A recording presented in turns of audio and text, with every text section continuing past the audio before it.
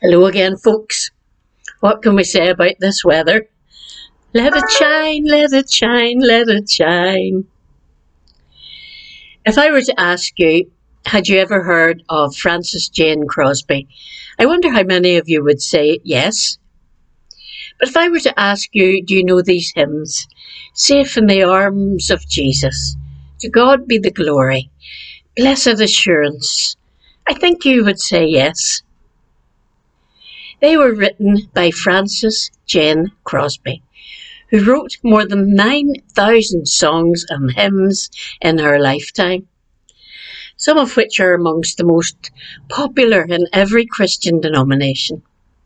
And she wrote so many that on one occasion she was forced to use a pen name because otherwise every book in the hymnal would have been by uh, Frances uh, Crosby.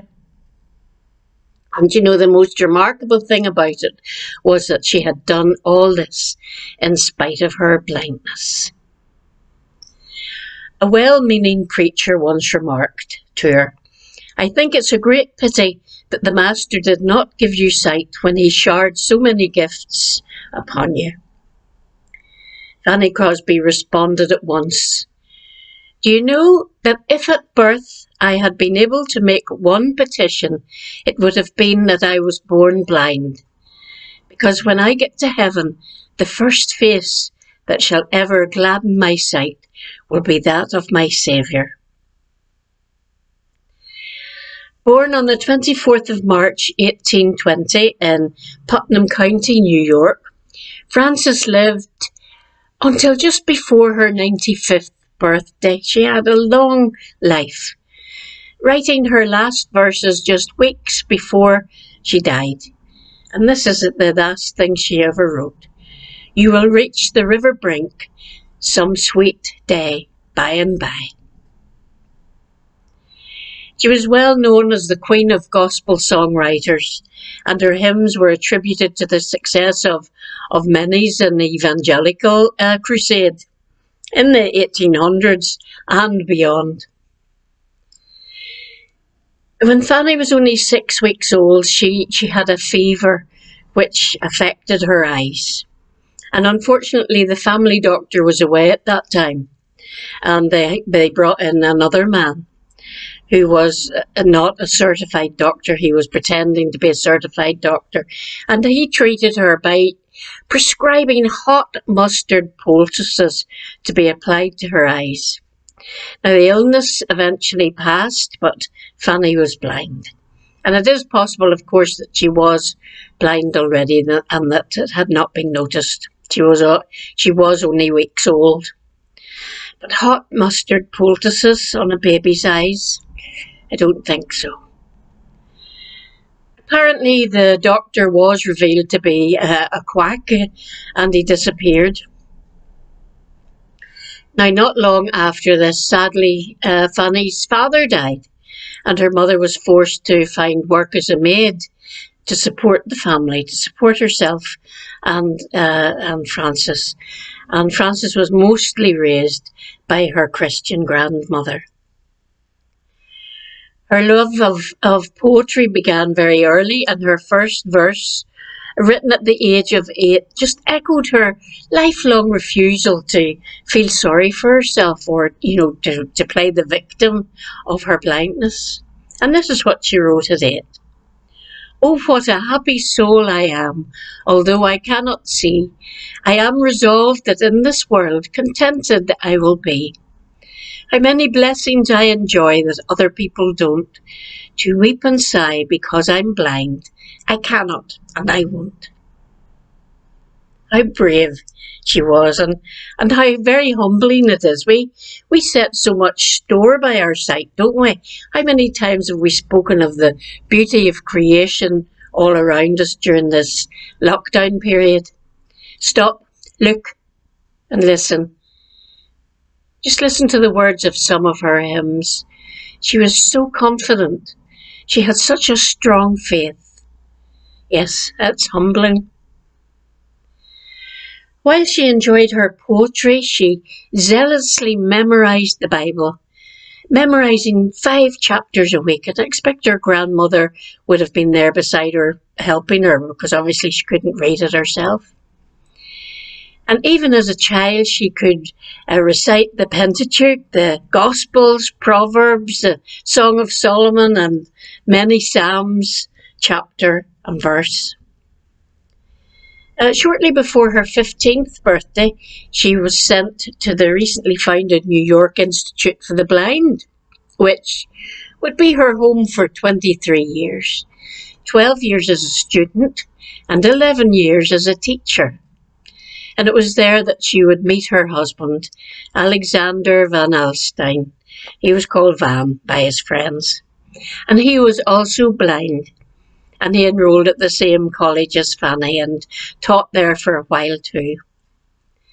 And he was considered one of New York's best organists, and he wrote the music to many of her hymns. Um, uh, Crosby herself was a very talented musician, but she only put music to a few. Although she did play the piano and the harp and the guitar and other instruments. Very talented. More often, musicians would come to her for lyrics for their music. Van and she were married on the 5th of March 1858. And although they were both working and could afford to live a very comfortable life, they had, and this is a quote, other priorities and gave away anything that was not necessary to their daily survival. They organised concerts with half the proceeds given to aid the poor. Very humbling. But sadness did come to them. They had a little girl, a little daughter, Frances, who died only weeks old very soon after birth from typhoid fever. And it's thought that this is what prompted uh, Fanny to write, Safe in the Arms of Jesus. She never spoke publicly about being a mother, except from mentioning it in a few interviews towards the end of her life. She said, Now I am going to tell you of something that only my closest friends know. I became a mother and knew a mother's love.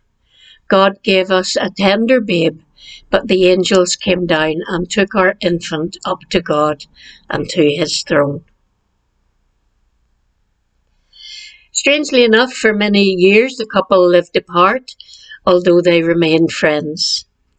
And her only recorded admission of, of marital unhappiness was in 1903 when she commented on her late husband. He had his faults, and so have I mine. But notwithstanding these, we loved each other to the end. Her hymns are a great testimony to her faith. Sorry. and if you take any one of them, it tells you all you need to know to share the gospel. So just let's have a wee quick look at To God be the glory. To God be the glory, great things he has done. So loved he the world that he gave us his Son, who yielded his life an atonement for sin and opened the life gate that all may go in. Encapsulated in these few lines, we have the Bible story from creation, God be the glory, to Calvary, who yielded his life.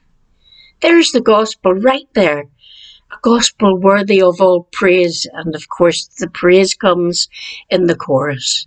Praise the Lord, praise the Lord, let the earth hear his voice. Interesting that she's encouraging the sense of hearing here, not look at what he has done, but listen to what he has done, listen to his voice. Praise the Lord, praise the Lord. Let the people rejoice. Come to the Father through Jesus the Son and give him the glory. Great things he has done. She takes no glory for herself.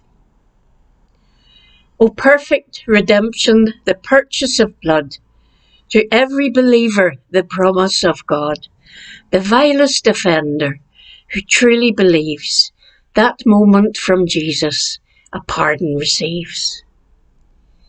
Here we have the great love of God and the grace of God demonstrated in the blood of Christ. And not just for the good.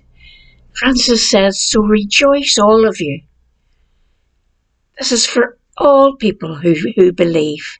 Vilest offender who truly believes. So praise the Lord, praise the Lord. Let the earth hear his voice. Praise the Lord, praise the Lord. Let the people rejoice. O come to the Father through Jesus the Son and give him the glory. Great things he has done.